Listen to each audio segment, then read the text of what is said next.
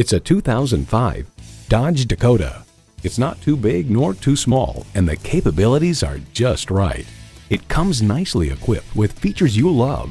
AM FM stereo radio, power front windows, manual tilting steering column, 112 volt power outlet, air conditioning, V8 engine, aluminum wheels, electronic shift on the fly, and power mirrors.